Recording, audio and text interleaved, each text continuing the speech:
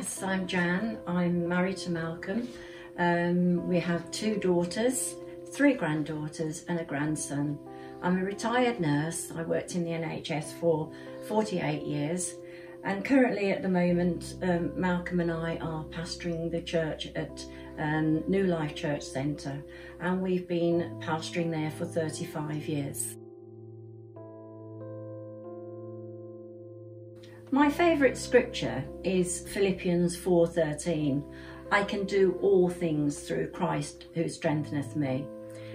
It became a reality to me, this scripture, when I was nursing, particularly when you looked at a patient that might have been between 18 and 20 stone and you lifted them up the, the bed. We had no equipment in those days. I always used to think that I can do all things but that scripture has meant more to me than that. It has upheld me in many times um, when I've needed it.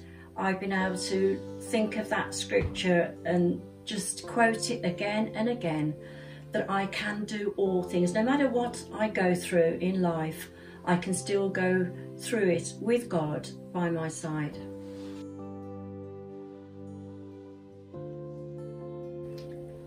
I think this year has been one of my greatest challenges. The year of this pandemic and COVID with all its restrictions. I've really missed going to the church and meeting with people. And my trust and faith in God has been tested to know if God is real, can I trust him? Can I believe in him?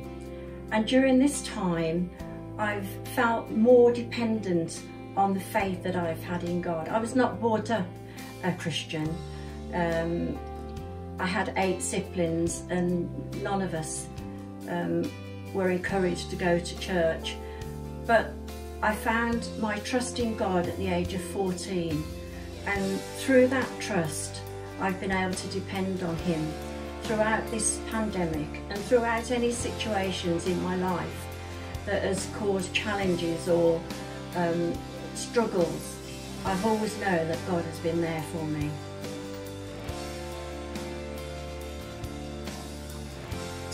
Well, it's been a tough year for all of us, and, and me included, but I've put my faith and trust in God.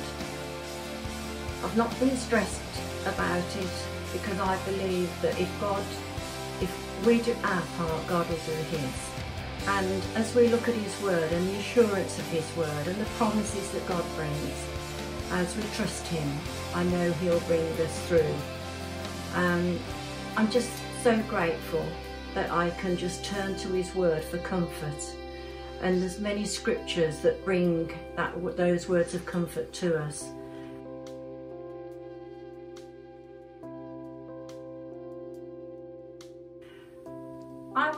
Say to you, don't give up.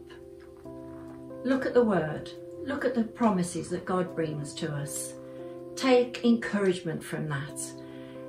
There are lots of scriptures in the Bible that shows God's promises, his faithfulness, his love. We can hold on to those scriptures at times like this when we're feeling down, discouraged, we're even feeling that we're we can't even carry on sometimes. But God assures us that He is with us every step of the way. So let's just get hold of those scriptures and His promises and His faithfulness will bring us through.